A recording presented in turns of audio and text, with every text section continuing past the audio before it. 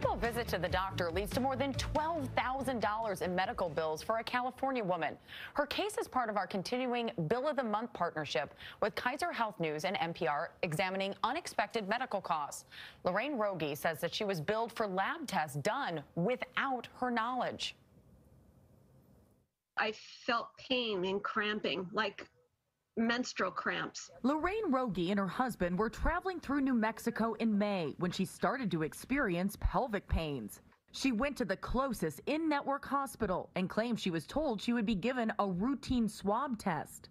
Three weeks later, the hospital bill arrived. It totaled more than $12,000, listing an entire testing panel for sexually transmitted infections that she didn't know had been ordered. When I found out from my insurance company that I was being billed for ST, STI tests, I hit the roof. My husband and I have been married for 26 years. There's no reason to test for anything like that.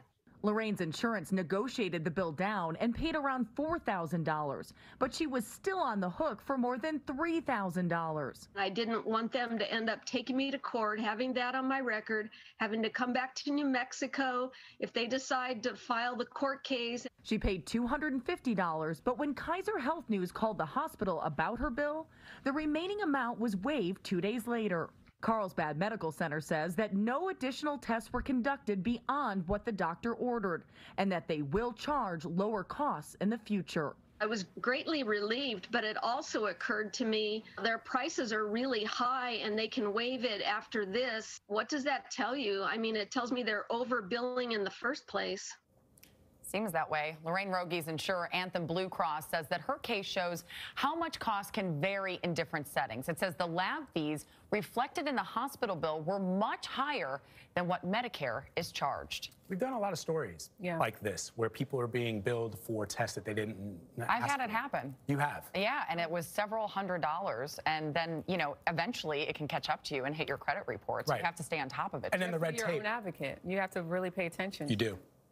Yep. It's hard because the red tape involved in getting those fees removed can right. be problematic. It is, absolutely. So Dr. Elisabeth Rosenthal, editor-in-chief of Kaiser Health News, joins us for a closer look this morning. You heard us just talking right now. Thank you so much for joining us. But ahead of America's, um, you know, most influential Sorry, got a little off topic there. Reading the prompter a little ahead of myself. Dr. Elisabeth Rosenthal, thank you so much for joining us. Let's start there. Okay, good. Thanks. uh, let's talk about this this bill. How do you go from just a you know a simple swab to thousands of dollars? Well, what people don't know is that hospitals and doctors can mark up tests, lab tests of all kinds. So, um, and the markups can be crazy. Other insurers told us uh, this panel may have cost a couple of hundred dollars elsewhere. So my advice to patients is when a doctor says, oh, I'm just going to send off a little test, say, what is it and how much will it cost? And P.S., patients should know that if that cost sounds like a lot, they can say, I'll go have it done at a commercial lab where it will be much, much cheaper. Well, that's, as Jericka said, you have to really be an advocate for yourself. It sounds like in this case that may have been hard, what you're talking about, to go get a second test done because she was traveling. So what do you recommend in that situation?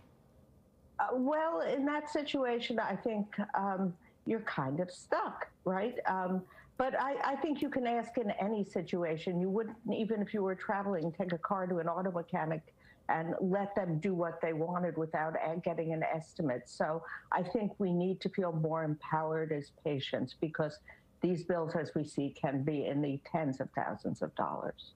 You know, as I said, I did have this happen once, and you end up trying to negotiate. Is that something that you recommend doing? Sure. I, I always say don't just write the check, start negotiating. And Lorraine did that. Um, it didn't get her very far in this case. And I think um, it's worth doing everything. But in this case, the best defense is a good offense. So ask in advance, get a price, and, uh, you know, if it sounds high, take that swab elsewhere, get your blood drawn elsewhere. You have millions of Americans that are uninsured. How do you uh, recommend those people go about getting these large bills? And, and how does that also just sort of overall affect your debt, your credit score? Well, this is why people get so scared because the first letter you get is often a bill uh, with a prompt pay discount, maybe. And the second one is we're sending you to collections and we're going to ruin your credit score. So Americans are good bill paying citizens. They try their hardest. They set up payment plans, as Lorraine had done before we called and ended up with the bill waived.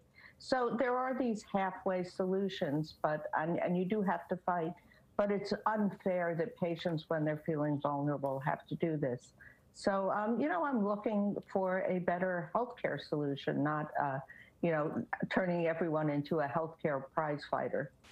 Doctor, Congress passed a bill that will ban surprise medical charges. That's going to start in 2022. Do you think that that will have an effect on consumers for the better? Uh, yes, absolutely. Um, you know, but this bill, let's let's be clear, it's long overdue. Congress has been considering this for years in a bipartisan way. It will erase some of those really, really large out-of-network bills. Um, so that's good. But there, you know, it's not what many of us had hoped for or everything uh, we'd hope for. I mean, first of all, it gives providers, hospitals, and doctors a little wiggle room to charge those bills still if they tell you a few days in advance we're going to do it.